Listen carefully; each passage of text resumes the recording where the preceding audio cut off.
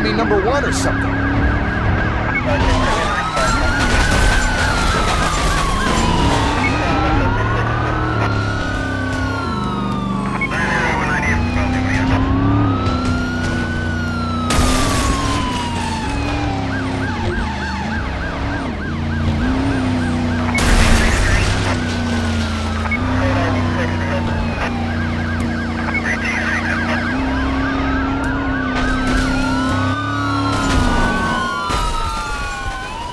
Hell!